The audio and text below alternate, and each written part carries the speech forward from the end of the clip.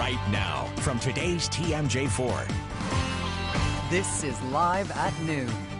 This man, a fugitive, was holed up in a downtown high rise. Late Tuesday, he slipped out from under the eye of U.S. Marshals and Milwaukee police officers, and now he's on the loose.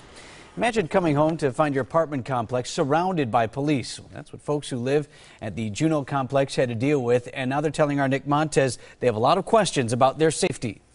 Residents tell me it was pretty frightening to see the squad cars and hear that a fugitive was on the loose at their complex. The U.S. Marshals is still looking for that man. Residents at Juneau Village Towers have more questions than answers right now after U.S. Marshals stormed their complex looking for this man, Johnny Lopez. I was wondering how he got into the building, if he knew somebody in the building, or if he snuck into the building. Beverly Gearing lives in the building next to where the marshals and police stormed in. There were two that had long silver instruments. I don't know if those were guns or what they were. The rest were not carrying anything. Marshals hope to take Lopez into custody Tuesday night. He's wanted for a federal weapons offense, but was released on bail. They believe during that time he committed an armed robbery. How dangerous is this man?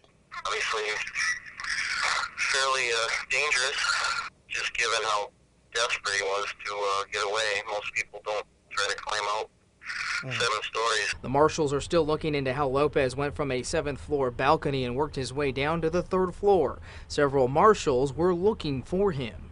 U.S. Marshals tell us that Lopez tried to force his way into an apartment but had the door shut on his face. Well, it's it's kind of scary, you know, coming home and thinking, you know, there's a fugitive running loose. Now, we did try and speak to the management team here, but uh, they declined to comment on Milwaukee's east side. Nick Montes, today's TMJ4. All right, Nick, thank you. U.S. Marshals told us they have been working 24 hours straight on this case and believe Lopez will be in their custody again soon.